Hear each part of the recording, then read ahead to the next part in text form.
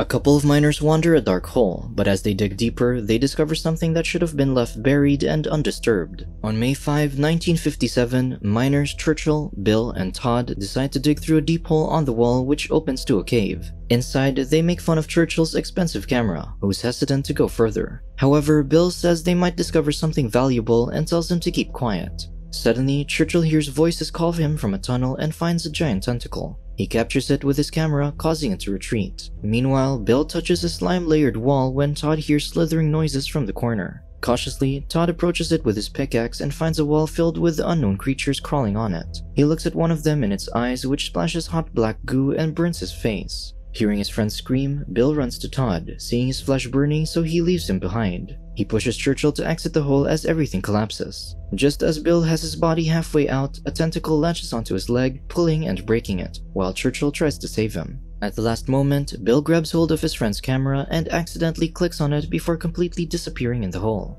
Churchill hears the voices call him again, but he hurriedly lights a dynamite and throws it in the hole where it explodes. In the present, a woman pole dancing grabs the attention of a man snorting substances. He slips in cash to her and asks if she can do more than dancing, to which she says she has one question before doing it. Suddenly, a cameraman appears and hands the woman a microphone. She asks him for comments on the allegations on the use of narcotics and solicitation of sexual work that has dominated during his term as mayor. In the news, the dancing woman, Hunter Hazelton, an undercover reporter, exposes the mayor of his crimes while he gets escorted away. Following her coverage, Hazelton gets nominated for Most Impactful News Story and News Person of the Year awards. In celebration of the reporter's nomination, Hunter's colleague, Annie, rants to her boyfriend, Declan, about her tabloid journalism and says that she defiles their company. Her boyfriend doesn't share the same sentiments and tells her to act nice when the nominee approaches them. Declan congratulates Hunter for her viral coverage on the mayor's scandal. Proudly, she reveals they have footage to which the district attorney opens for an investigation. In front of his date, Declan recalls his night with Hunter in Vegas, since they used to be partners at work and in bed, but Hunter claims they didn't make a good team.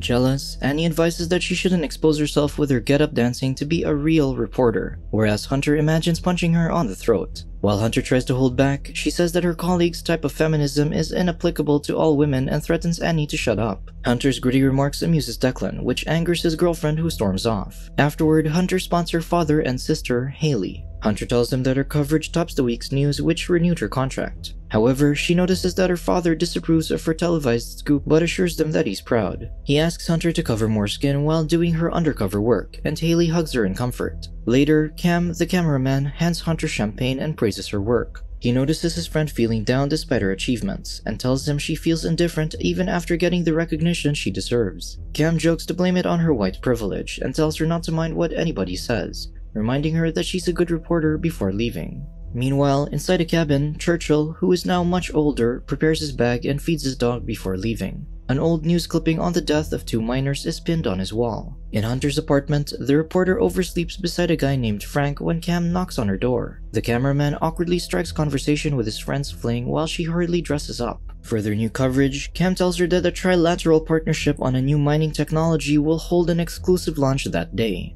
At the launch, Annie passes by Declan, whom she breaks up with after embarrassing her at the party. Then, Annie finds her nemesis's exclusive pass and throws it in the bin. Meanwhile, Churchill, now a retired miner, claims to visit the site to which his former associate allows without question. Arriving at the venue, Hunter finds her pass missing and is reminded that the event is restricted. The reporter doesn't contest, but instead thinks of another way in. Suddenly, she grabs the coffee on the table and spills it to her cameraman so she asks the staff for a change room and points them downstairs. While Hunter walks down the hall, she enters the men's changing room where she searches the lockers for a pass. Carrie, a miner who just finished washing up, gets surprised upon seeing her in the room. Shamelessly, Hunter introduces herself to the stranger and asks for his help. Although confused, Carrie doesn't say no to the gorgeous woman's favor. At the mining field, Annie interviews Russian engineer Dr. Nikolai, who's about to reveal a technological breakthrough on live television.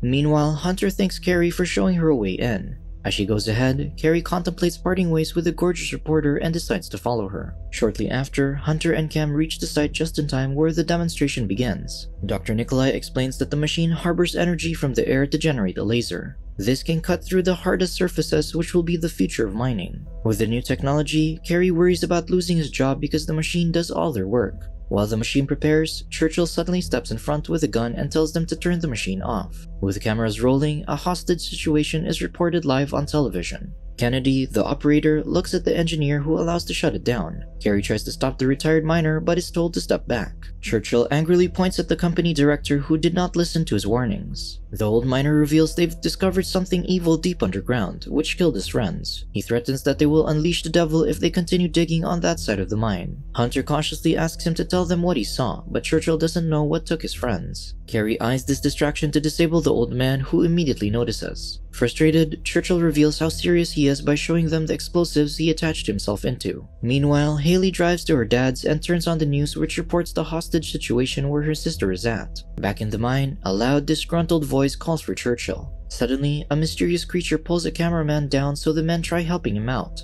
Unfortunately, they fail when the creature takes him in the hole. Then, mysterious creatures start crawling behind Churchill when large tentacles grab him. He takes this opportunity to activate his explosives, which blow up the cave. After the explosion, Hunter watches in horror as the catastrophe unfolds. Then, Carrie gets her out of the commotion and the machine gets destroyed by the fire. Outside, Haley cries while watching the mine explode, but her father assures Hunter will be alright. In the mine, Hunter grabs a nearby shovel when she hears a distorted sound. She almost hits Carrie, who is looking for survivors, but finds Churchill's bag instead. Inside is a flashlight and a gun which Hunter takes. The reporter sincerely thanks the miner for saving her from the chaos. He misunderstands the mood and leans for a kiss, but Hunter stops him. Moving forward, Hunter is determined to look for other survivors and avoid the monster. Meanwhile, an injured Dr. Nikolai gets carried by Cam and Declan and lays him down to rest. Traumatized, Annie recalls how Churchill exploded the mine who Declan calls deranged, while Cam defends the old man for protecting them from the giant octopus. However, the exes deny this and try to convince themselves of a logical reasoning behind the incident.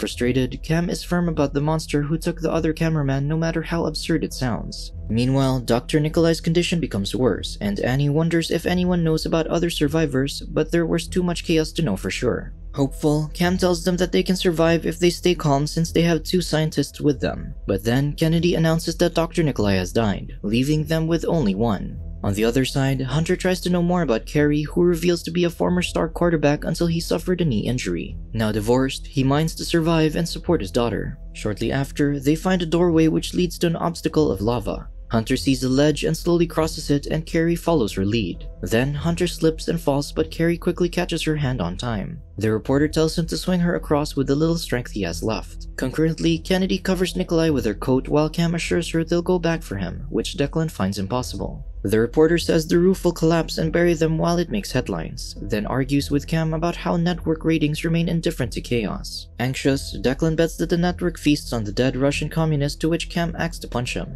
Declan hides behind Annie while he explains that stress makes him lose control over his words. He calls the cameraman by his ethnicity, proving his words true, and Annie attests that her ex is clinically diagnosed as stupid. Declan confirms and takes his medicine while Cam walks away. At the lava obstacle, Hunter makes it across with Carrie's help. She pushes him off her as she feels hot and takes off her burning shoe. Looking around, they find an altar and ancient carvings on the wall. Carrie claims he recognizes the figures and compares it with his daughter's emojis. Hunter interprets the hieroglyphics and says that people bring sacrifices to the monster to survive. Moreover, she notices eight apprentices which surround the monster. Then, they notice a chained skeleton behind them, whom Hunter says is a virgin sacrifice who evolves after the ritual. At the other side of the mine, Cam and his group reach the burning site where boulders block their exit. Declan impatiently argues with Annie while they blame each other for their situation. At the same time, Cam asks Kennedy if she can fix the machine to which she says no. Nevertheless, the scientist suggests building something new. Cam optimistically informs the reporters of their plan and instructs Annie to stay with Kennedy while he and Declan search for survivors. Declan complains but pretends to be mournful when Cam looks at him disapprovingly. Cam agrees that Kennedy's plan might fail, but persuades Declan by calling themselves heroes where the reporter imagines his name in lights. Afterwards, Annie exclaims that she finds her earring among the rubble. At the altar, Hunter takes a video of the ancient carvings on the wall. Carrie then points out her recklessness which might have caused her death, but Hunter stays firm. Sarcastically, she calls him her hero which irks Carrie. He is about to argue with her when a disgruntled voice shakes the cave. The others feel it too, so Annie asks the scientist to hurry. Seconds later, the shaking stops and Hunter and Carrie see a skull roll down. Suddenly, Hunter sees a zombie approach and alerts her partner. It swings its pickaxe, but Carrie dodges while Hunter shoots it with her gun. Emptying the magazine, the zombie falls, and Hunter asks Carrie to help investigate the body. They hear a hiss from beneath its shirt which makes them stop. Then, Carrie recognizes the zombie as Bill, Churchill's dead friend, and shows Hunter a photo from the old miner's bag. They realize that the creature is manipulating the dead body to attack them. Meanwhile, Cam picks up Kennedy's coat from the ground where they left Dr. Nikolai. Suddenly, they see the dead scientist ahead, so the pair follows him despite Declan's complaints. Back at the altar, Hunter records herself reporting their discovery on her phone. Suddenly, the zombie gets up and throws her to the ground. Carrie tries to help her, but Bill strangles him. Luckily, Hunter recovers and hits him with his pickaxe, making him lose his grip and leave. Hunter runs after it while Carrie reaches out to stop her. She tells him that chasing after risks is her long awaited adventure. Despite his fears, Carrie follows the brave woman. Inside the monster's hive, Cam and Declan hear slithering noises and the small creature jumps at them. Cam ducks on time so it lands on Declan who screams while they try to get it off him. Unfortunately, it has already attached itself on his back. Suddenly, Cam sees Dr. Nikolai, so he tells Declan that they should leave immediately. However, Declan begins acting the same as the zombie and falls into a trance and his eyes turn white. Cam backs away from him and tries to snap Declan off it, but to no avail.